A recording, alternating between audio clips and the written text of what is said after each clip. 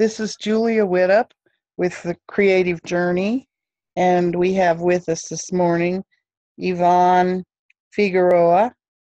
I, am not sure I said that right. I you, think I you said, it, said it perfectly well, Julia. Okay, and he's going to be talking about the forgiveness code. So, can you tell us what that is? Sure, Julia.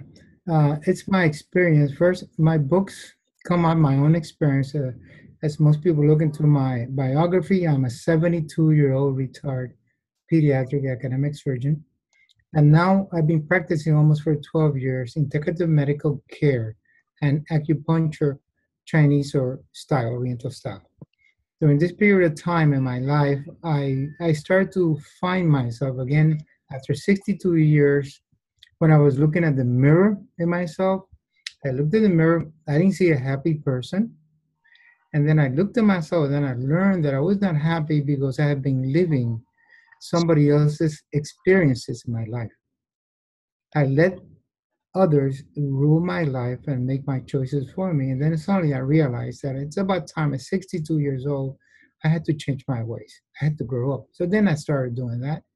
And it was a growth process, being learning that most of the wisdom I have looked and studied for years was within the reach of my own self, within my heart, within my soul, and that I had to open my right brain, the person which that part of me which is intuitive, and I have uh, suppressed for many years. I put that in my book, and then I started finding some beautiful things that in the past I called my shadows, the shadows. So basically, in this book, which is the third of the spirituality series, the first one was Spirituality 101 for the dropouts of the School of Life. We discussed that a while ago. The second is spirituality, spirituality 1.2 for the disconnected of the school of life. And the third one, the forgiveness code, finding the light within our shadows. This is one of my heartfelt books. I enjoyed it so much writing and learning. As I read it, I can't believe in the wisdom I was able to channel in the book and how much is it helped the patients who already read it. The book has been out maybe two weeks and I have the great pleasure to announce that the Kindle version has reached number three in the bestseller status in the New Age group. And right now it's number nine. It went down. But it's been cycling up and down, but I'm under with the biggies competing for that little spot. And I'm just a nobody in, in this universe, according to uh, writers. And so I do want to share that happiness with my uh, fellow hearers and just want to let you know that in the future, you will be able to find this book and Kindle under the title for the introductory price of 99 cents. Now, this book is $15.99, the basic book. So this is a good opportunity for people to learn about my book, share it, and enjoy what I'm trying to share with them. Let's talk about, about the book just a little bit. If you want to interrupt me, you are allowed to. You're the big boss, and ask some questions about that I that I leave out. The this is a book that basically writes of an inner journey. I see our universal journey as one that's really inwards. And it's a creative and discovery process of that beautiful universe that was created spontaneously with the big bang or the big joyful bang of love. Since then, our creator, which is our mind, and I call it this book, the magical mirror, the beautiful magical mirror of our minds, and our minds are also magical mirrors. I picked this choice because many years ago, my love teacher of the Tibetan tradition, Khenchen Palden Sherab Rinpoche, the great Dzogchen master, told me, Ivan, don't take it so hard on yourself.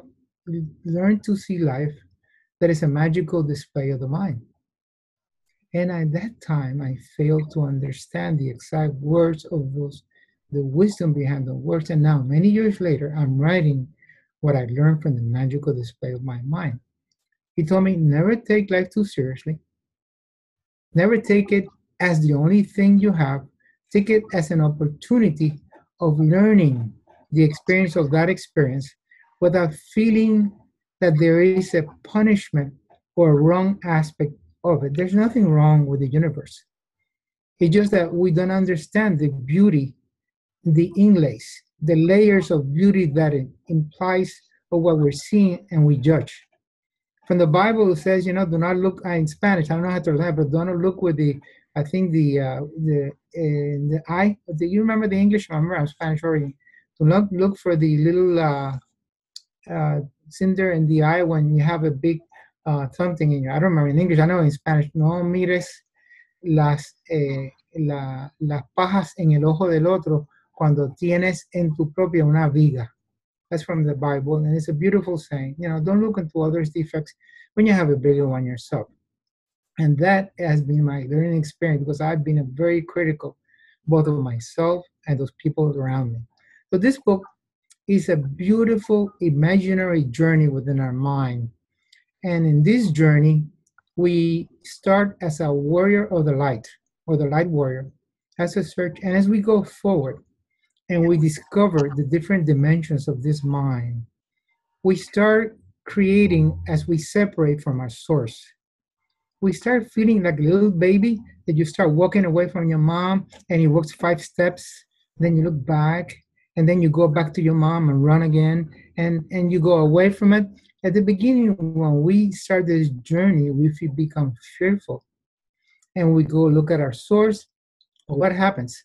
We take too many steps, and at one time, suddenly we look around and there's no mom. And for the first time, I disconnect from the source of love, and then I feel alone. It is at that time that man makes the single mistake of creating a false creator. That false creator is a God like for ourselves. It's called the ego.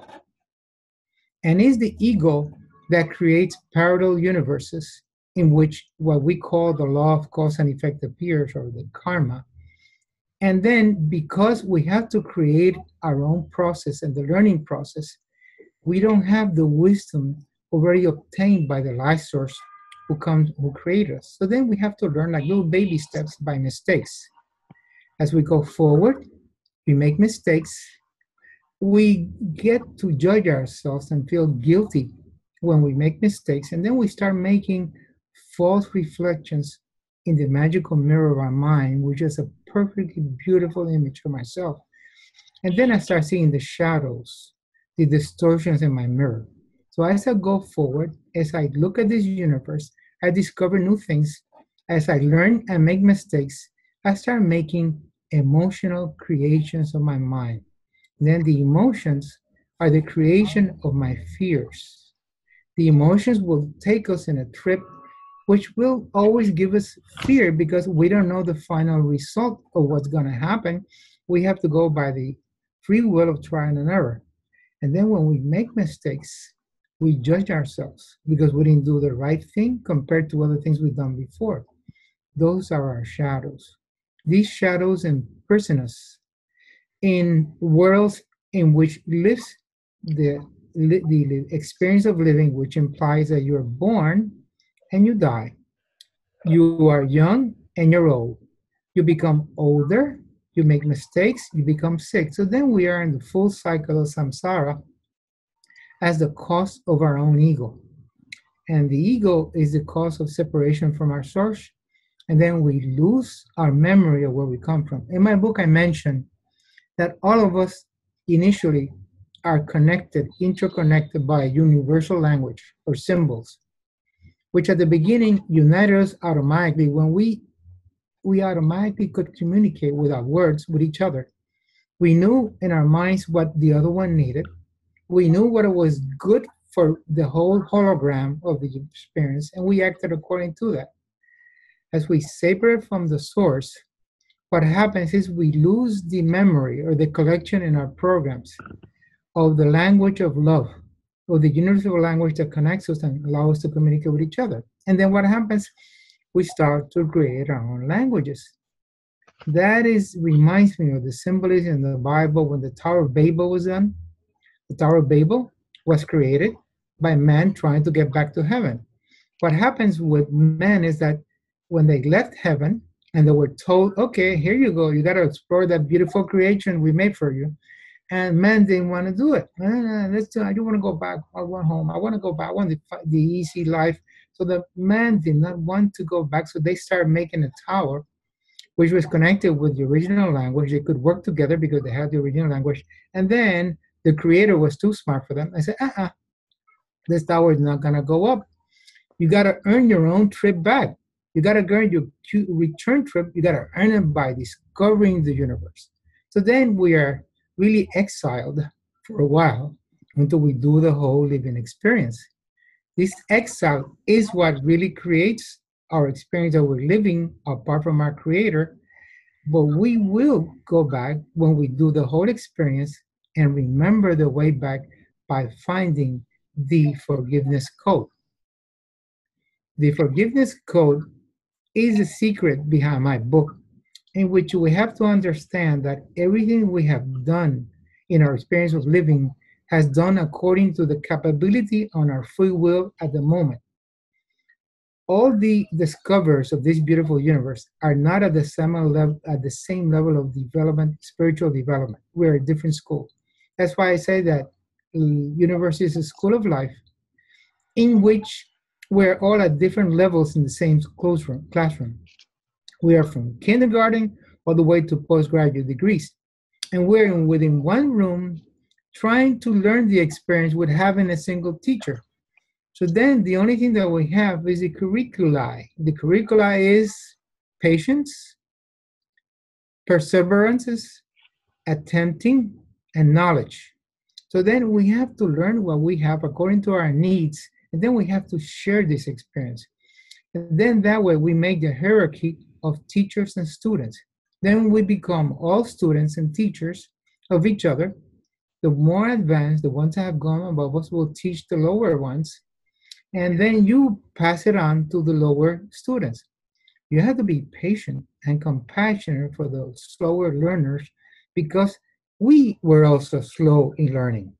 And somebody was compassionate with me, and then by similarity, and then when we learned that we're all family connected through the uh, language of love, then we have the patience with others coming up.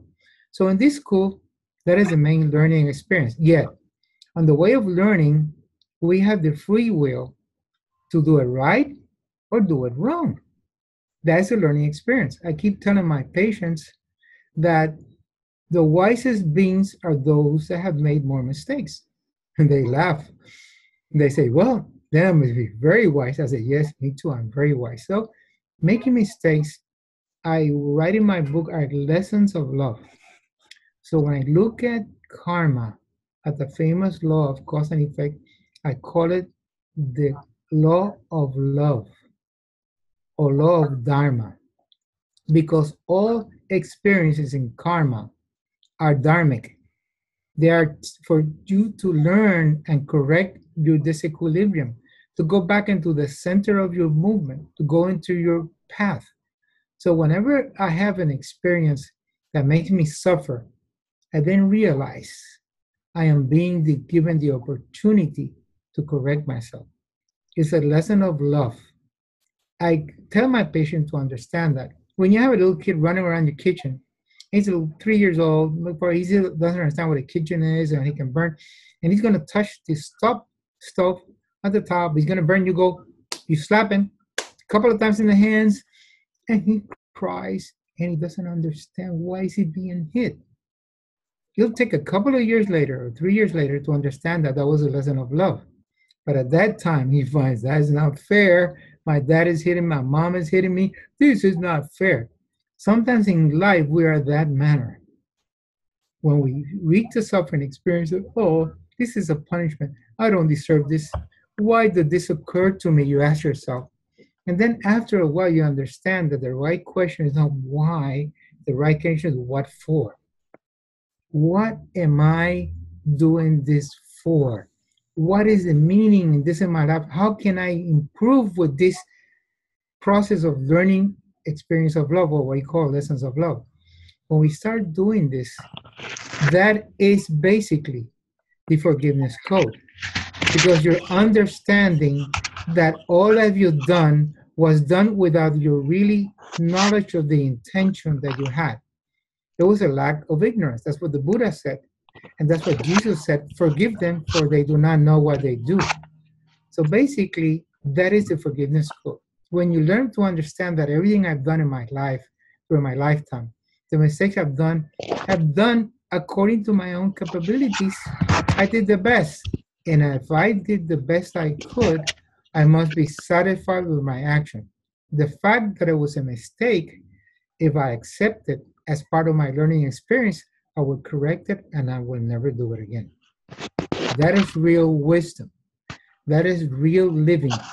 And then when we use the forgiveness code to really understand that everything we've done in our life has been the best that we could, we start judging our past experiences and we stop judging the experience of others that have maybe done some damage to us and have not understood their relations with us.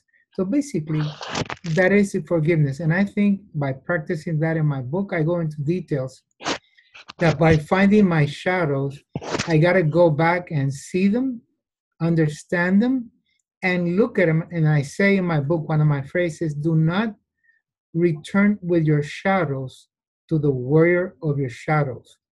Return with your light so he can see his own.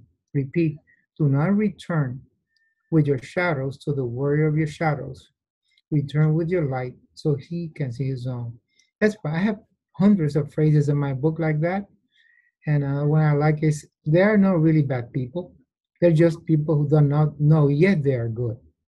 There are no bad people. They're just people who do not yet they are good. Well, basically, I think I've given you most of what I'm reading in my book. Basically, is a imaginary battle between the battle of the warrior of the shadows and the warrior of the light, and it's structured in different levels to show how in our life we go through different battles. There are the internal battles, the most important, my internal one, with my with my shadows, with my imaginary foes, my dragons, and then are the fights that we do with the shadows of other beings in our life. It's a beautiful warfare, uh, war episode, and it's a learning experience because everything you learn here is love. There's no spillage of blood. There's only spillage of learning and perseverance. Anything you would like to ask me? Yeah, where could we get your book? Okay, my book is available in Amazon mm-hmm. at different levels paperback, Kindle, and hardcover. Uh, you can get the Kindle now within, I have it a special for the next couple of weeks at 99 cents. Now, you guys go get it because this is a unique opportunity of a beautiful book. I maybe have it a couple more weeks at 99 cents. So this is time to share it. To download it, share with other people. The name of the book is The Forgiveness Code Finding the Light in Our Shadows. The main title Spirituality 103. Spirituality 103. Uh, the Forgiveness Code Find the Light in Our Shadow, Share it with people. It comes in Spanish for your Spanish speaking friends. Take a look at the Spanish version too. So ask me any question you want to know. Um, I talked. I talked too much. Oh no, you were great. I that was covered everything. It seems like. Okay, it's the forgiveness code. Finding the finding finding the light within our shadows. Right. Finding the light within our shadows. Remember, that's a beautiful experience. I say, the, there's no difference in the light and the shadows. They're just hues of light. The shadows are darker hues, the light are lighter hues. There's nothing wrong with shadows. Life cannot be, you cannot be happy if you have not gone through suffering. The, the, the Buddha taught all that. It's a contrast of living. But we tend to like, as human beings, to keep everything stable. Everybody likes stability. No, I don't want to change this. I don't want to change my life. This is perfect. I'm doing well. You want to change your job. You don't want to try new opportunities like me. I'm starting writing at 70 years old. And people say, You crazy? You never written anything in your life. I said, Well, if I learn to be a pediatric surgeon and do major surgery, I can learn to write. I'm very confident in myself. I'm very confident in myself. And uh, I, being number three on the second day of my book launching is a miracle. I know if you understand that. Number three, a new age spirituality. I could not believe it. That yeah. was how fast. And now I'm number nine today, but I'll be number one after I finish your program. after all these people, read and download my book, I'll be number one. Then I'm going to take a picture of that in my screen and I'll put it in a little frame and I go give myself, tap myself, oh my God, Ivan, you're so great. You're so great. That's not true. I'm not that way. What I'm going to say, this book is also, you have to see the reviews. Go into the site. There's many reviews of people. Where is your website? Well, uh, it's not on my website. I'm talking in my link to Amazon. It has my oh, reviews. Oh, okay. You can go to Amazon. You find the professional reviews. There are beautiful reviews of people like you and me who have read my book, and also professionals, artists, uh, painters, physicians, doctors have reviewed my book and have given me hope that this book has a message. Remember, I channel information. This is not really my book. This is a book of the universe. And I wrote this book in three weeks, and it doesn't look like it's written in three weeks. You'll see it. Uh, my first book took me a weekend. My it gets more difficult. My second book took me two weeks. Maybe my fourth book will take me four weeks. and, uh, and do you have a website? Yes, I have web. Uh, it's difficult because it's a whole name. It's Ivan Figueroa Otero MD. You're gonna find the private within the uh, Amazon link. Ivan Figueroa Otero MD.com. It's gonna be hard. Uh, it's a long name. We in Spanish we use both last names of the parents. Figueroa, my father. Otero, my my mom. And the Americans get confused and they think that Otero is my first name. Oh, and awesome. so uh, yeah, it happens, you know. Yeah, they're not but, used to that. But but the message in this book is that guilt. I put that in my book. Guilt is a word that should be deleted from the dictionary, and the way to delete it is to use the code of forgiveness. So when we calmly look into ourselves, understand that everything we've done in our lives has been the right thing, even if it made us suffer. it was the right thing. and the, the experience, see, what happens is when you look back at your life, Julia, you know that. And you go back and you laugh at yourself when you were 17 and 18 and those college days. Oh my God, I was a really little girl, naughty little girl. And then you laugh at yourself and you, you control yourself and you criticize yourself and you understand that's what you had. You've grown to be the Julia you are now because of those mistakes. Right. The beautiful Julia I have here, they have a beautiful picture of you in the in my front here. I can't see myself. My little my little camera is a little small, tiny one, so I don't see myself, which is good. uh, but but anyway, Julia, it, it's guilt. Guilt is a word that should not be in the dictionary, and should disappear. We just have to delete it. Go there and delete it. It doesn't exist. What we should put there is uh, would be responsibility, self responsibility, and co responsibility. Self responsibility for my mistakes, co responsibility for the other's mistakes. You understand? Uh-huh. There's no there's no way you can call yourself the blameless game here. Either play the blame game or the blameless. It's impossible. Since we're a beautiful holographic dimension of love, anything that happens in one part of my dimension affects the other. It's impossible. Right. Now, some some beings are not aware of that, but as you go forward and you awaken your spirit, you become more aware of your core responsibility. That's when we start making mistakes. Stop, stop, stop. I don't do it. I catch myself, uh-uh, Ivan, you had enough of that. Go away from that. Don't get yeah. into trouble again. And I don't want to dig myself out of that hole again. So mm. then you, and then you're aware that other beings, you're compassionate because then you are aware other beings have been through your process. Then you see yourself in their images. You see them as, oh my God, this is just the way I do it. So I can help my patients by explaining the way I did it. I tell them, okay, I'm going to tell you a story. You're not alone. I did all those things and a little bit more than you did. So here I am. I'm help I'm helping you and look at myself. I'm just a regular guy. Sometimes patients come to my office. My wife helps me here, and and they tell me, "Oh, your wife is so lucky to have somebody so wise as you living with her." And I start laughing out loud and tell them, "You know, you better ask her how is it living with me." It's not that easy. It's not that easy because my shadows keep coming out every time. She reminds me of my mom. When she starts acting like a mom and I start doing like a little kid, I get really angry. I start saying things that I shouldn't do. You know what I mean? Yes. So I'm just a human. I'm a kid. I'm a kid. I'm a human being. I'm a 72 to 73 year old kid. And I'm loving what I'm doing right now, enjoying myself. And I really hope people enjoy my book and share their experience with me and pass it on because I only wrote this because the universe told me you better do something to help others. Good for you. Thanks so much for being with us today, Ivan. I enjoy myself. I hope, I really wish at some time I could get this link to share with other beings. If at some time you send me a little note.